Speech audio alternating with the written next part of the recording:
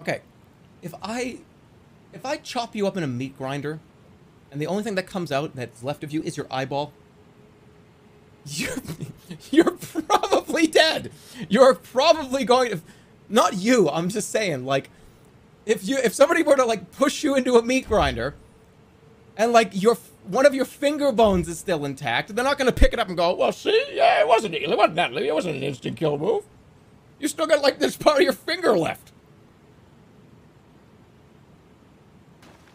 No, I'm not gonna put you into a meat grinder.